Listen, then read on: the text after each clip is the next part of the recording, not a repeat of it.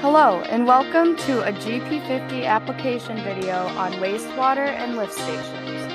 GP50 is a global provider of instrumentation grade level and pressure sensing equipment with over 30 years of experience. The purpose of a lift station is to raise or lift the sewage to a higher elevation, where it can then flow downhill via gravity to the wastewater treatment plant. The raw sewage flows by gravity to the lift station into a catch basin known as a wet well. The wet well acts as a holding tank for the raw sewage. When a set level in the wet well is reached, a pump will automatically start to pump down the well to a consistent level. The purpose of the level transmitter is to provide feedback to the pump controllers, allowing them to turn on and off when the level reaches a set height. There are various ways to determine the sewage level, such as hydrostatic level sensors, floats, bubbler systems, radar, and ultrasonic are all used.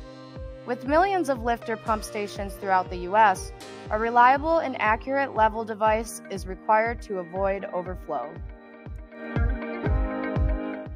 GP50 has developed the Model 311 M351, a submersible hydrostatic level transmitter that can withstand the environment conditions and provide a reliable, accurate level measurement. The large diameter sensing element is designed to resist clogging, which is critical due to the amount of fats, oil, and grease that are found in the raw sewage. The Model 311 M351 provides a heavy-duty baffle plate, sometimes known as a birdcage design, to protect the sensing element from installation issues or debris found in the raw sewage. The all stainless steel body provides a corrosion resistant design with an integral polyurethane, Hytrel, or Tefzel cable. The Model 311 M351 features a non clogging 3.5 inch diameter sensor face weighs 6 pounds to limit movement and ensure it stays deep in the sewage, has pressure ranges from 0 to 30 inches water column through 0 to 300 psi, with plus or minus 0.5% FSO static accuracy, 420 milliamp, and a temp compensation from 0 to 140 degrees Fahrenheit. So, how is it installed?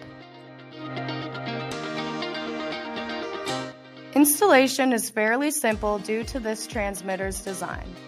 The transmitter is dropped in the wet well from the top and lowered to a predetermined bottom of the well. It's best to keep the unit a few inches from the bottom for self-cleaning reasons. The level measurement will be from where the cage is located to the top of the water line. A cable hanger is recommended to support the cable in the wet well. It protects the cable from damage and ensures the internal vent tube is not crimped closed. The internal Kevlar reinforced cable does not require additional support. However, in severe applications where excessive debris such as rags may collect on the transmitter's body, an external support cable may be necessary. Thanks for joining us in this lesson on wastewater and lift stations with GP50. To reach us, call our offices at 716 773 9300 or visit our webpage at gp50.com for all of your pressure transmitter needs.